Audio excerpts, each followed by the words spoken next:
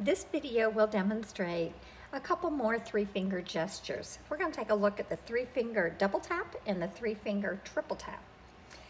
So the three fingers, you're going to hold your fingers apart. You're going to double tap twice quickly. So I'm going to do one, two, one, two. Speech off. And voiceover says speech off. Now, this is talking about the voiceover speech. When I drag my finger around the home screen, you can still hear the earcons. You hear the click, click, click, but VoiceOver is not telling me what's there. This is a toggle gesture, which means if I do three finger double tap again, it's going to turn the voice back on. So I'm going to show that. Three fingers, one, two. Speech on. So now the speech is back on. So this is also called mute and it, or the voiceover speech on and off.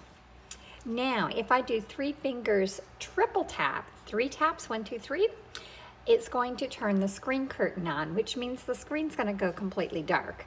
I'm gonna do that now, one, two, three. Screen curtain on. So now VoiceOver still talks. Calendar. Maps. Camera. Photos. Join. Me. But to open. VoiceOver still talks, but the screen is completely dark. This does give the user a lot of privacy. It also helps keep the battery from running down as quickly. Um, during a test, you might want to have the student turn the screen curtain on so other students can't look at their answers. Again, it's a toggle, so three finger triple tap will turn it back on. One, two, three. Screen curtain off. Now it's important to realize that if you turn speech off and you turn the screen curtain on, then it appears that your iPad is broken um, because everything is dark. Let me go ahead and turn the screen curtain on again. One, two, three. Screen curtain on. Everything's dark, Photos. Camera. but voiceover still works. Now I'm gonna to do a three finger double tap. Speech off. So speech is off and the curtain is on. So all you hear are the thunk, thunk, thunks. So again, these are toggles, so three finger double tap. Speech on. My speech is back on and three finger triple tap. Screen curtain off.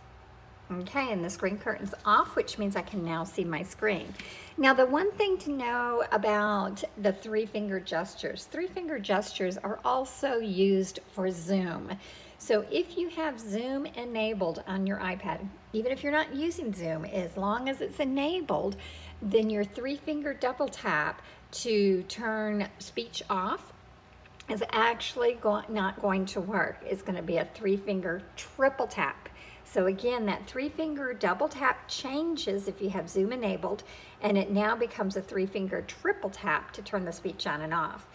In order to turn the screen curtain on and off when Zoom's enabled, is a three finger quadruple tap, so four times. So let me demonstrate that real quick. I'm gonna go into Settings. I am in general, I'm gonna go to accessibility, um, Accessibility. Button. Selected. Vision. Heading. and I'm gonna go down to Zoom. Button. Selected. Zoom. Off. So now I'm gonna to toggle setting. turn on Zoom. On. Go back to my home screen. Now when I do a three finger double tap, let's watch. Three fingers, one, two, and it zoomed. So again, the three fingers are used for scrolling with Zoom, to initiate Zoom. Um, all of your Zoom gestures are three fingered. That's why it changes. So now I'm going to get out of Zoom by three finger double tap. And I'm going to do a three finger triple tap. Speech off. So that turned my speech off. And turn my speech back on. Three finger triple tap. This is with Zoom enabled. One, two, three. Speech on. Now let's take a look at turning the screen curtain on when Zoom's enabled. I'm going to do a three finger quadruple tap. One, two, three, four. Screen curtain on. And again, one, two, three, four. Screen curtain off.